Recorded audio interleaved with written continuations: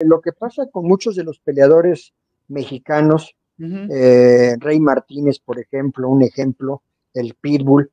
eh, tienen que tener ya a ese nivel de campeones mundiales que ya hayan sido, aunque hayan perdido el campeonato por cualquiera de las circunstancias, pero no, no, no, no, no han entendido ni quien los manejan, ni los, ni los consejeros, quien debe tener una persona que les rija su alimentación para que puedan dar los resultados que el público que los, que los idolatra reciban, porque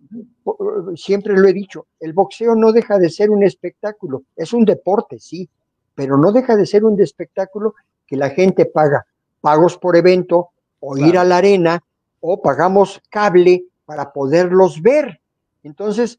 es gente pública, es gente pública que debería de preocuparse más por hacer mejor las cosas y tener un, una buena, un profesional que les dé una alimentación adecuada, balanceada, para que cuántos peleadores, ahora con la famosa, que yo estoy siempre he estado en contra desde que se impuso el pesaje un día antes, sea 30 o 36 horas,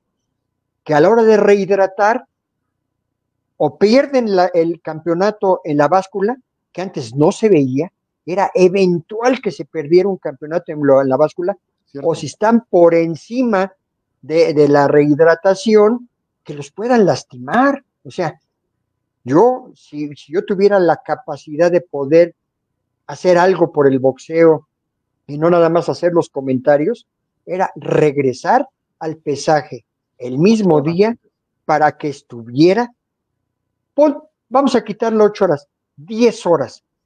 en la mañana, pesarlos a las 10 de la mañana para que, para que combatan a las 8 de la noche o 9 de la noche. Eso sería lo ideal. ¿Por qué? Porque lo he, lo he mencionado muchas veces. Eso se inventó para hacerle en aquellos años el favor a Julio César Chávez, que ya no podía dar el peso, y alguien lo inventó.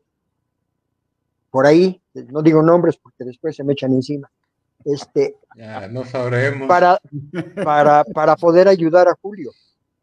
Cosa que ya se quedó, porque todavía la WA tardó en, en hacerlo, como quitarle en aquellos años los tres rounds de los 15 a los 12, todavía WA, yo a mí me tocaba referiar 12 rounds para el CMB y en algunas peleas que compartían campeonato con Hagler, por ejemplo, el mismo Tyson, eran a 15. Y pues yo me las echaba 15, si eran 20, pues qué bueno. Pero, pero eh, se fueron haciendo ley para ir homologando, pero muchas veces esa homologación no fue eh, lo, necesario, lo, lo real que, que, debió valer para el, para el espectáculo y para defender la vida de los peleadores que al final de cuentas son los que se la juegan arriba de un cuadrilátero.